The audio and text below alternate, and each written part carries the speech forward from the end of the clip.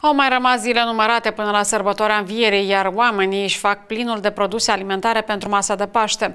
Specialiștii atenționează însă că acestea trebuie cumpărate cu mare atenție doar din locuri autorizate pentru a evita surprizele neplăcute ca toxii infecțiile alimentare. De ce trebuie să ținem cont atunci când alegem carnea, ouăle și cozonacii pentru ca să avem o masă de Paște sănătoasă și delicioasă? Vedeți în reportajul ce urmează.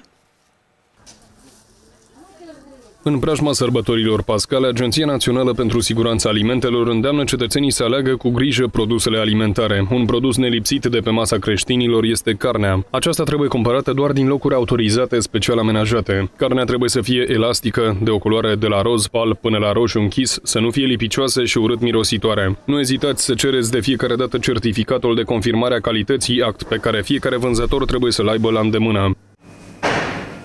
Deci asta este, da, certificatul de astăzi, că am primit carnița proaspătă. Ieri n-am lucrat, asta e tot de azi proaspăt, tot. Și bun, trebuie să controleze, au ochi, au uh, nasul pe loc, mirosit, la ochi întâi se vede calitatea, o mai miroasă și dacă îi place, atunci certificatul și mergem înainte.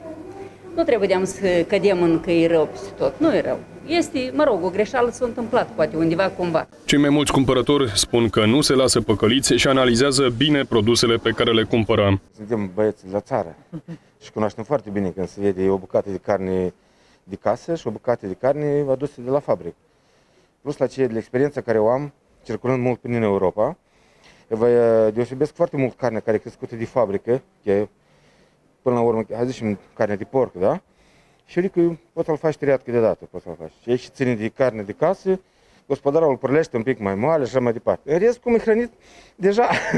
Noi luăm mai puțin, dar mai bun. Te uiți la terminul, la termin, la ouă, dar la carne, așa, eu nu știu, la ochi. Știesc și conține, când e fabricat și termenul de valabilitate.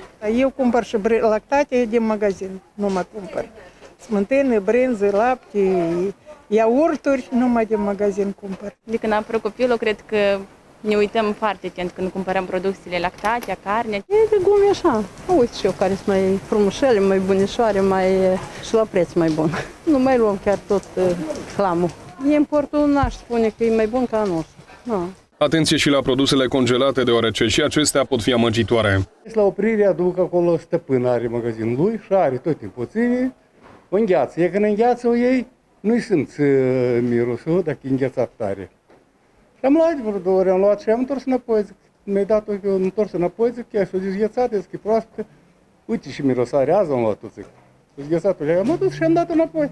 Mai mult ca niciodată sunt întrebate acum și ouăle. Specialiștii atenționează că acestea sunt bune de consumat dacă nu au trecut mai mult de 28 de zile de la OAT. În magazinele autorizate, citiți cu atenție data producerii și data limită de consum. La spargere, ouăle nu trebuie să prezinte albușul tulbure sau amestecat cu gălbenușul. Atenție și la vopseaua pe care o folosiți pentru a colora ouăle. Nu procurați vopsea cu ambalaj nemarcat sau la linguriță, căci poate fi vopsea tipografică sau textilă și poate prezenta pericol pentru sănătate. Când alegeți cozonacii, pasca și alte produse de panificație, citiți cu atenție lista ingredientelor și la fel verificați termenul de valabilitate.